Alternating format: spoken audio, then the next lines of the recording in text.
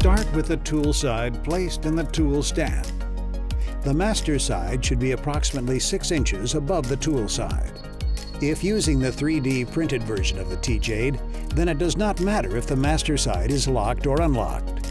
Orient the A flat of the tool side teach aid to correspond to the A flat of the tool changer tool plate. The tool side teach aid contains two locating bosses.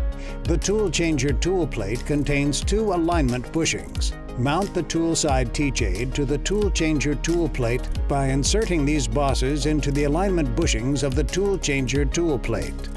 Magnets in the body of the tool side teach aid will secure it to the tool changer tool plate. The master side teach aid contains two holes for the two alignment pins on the tool changer master plate. Mount the master side teach aid to the tool changer master plate by inserting the alignment pins of the master plate into the holes of the master side teach aid. Magnets in the body of the master side teach aid will secure it to the tool changer master plate. Slowly move the master side teach aid toward the tool side teach aid until the teaching aids are approximately 1 millimeter apart. The mating faces and alignment marks on the body of each teach aid can be used to correct any lateral or angular misalignment.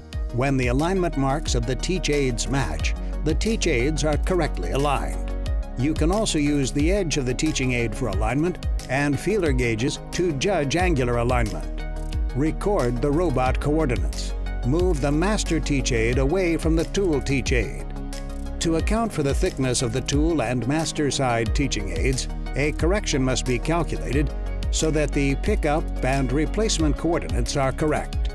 Refer to the sticker on your teach aid, the product manual, or drawing for the applicable value to calculate the correction. Remove the teaching aid from each half of the tool changer and verify the tool pick program.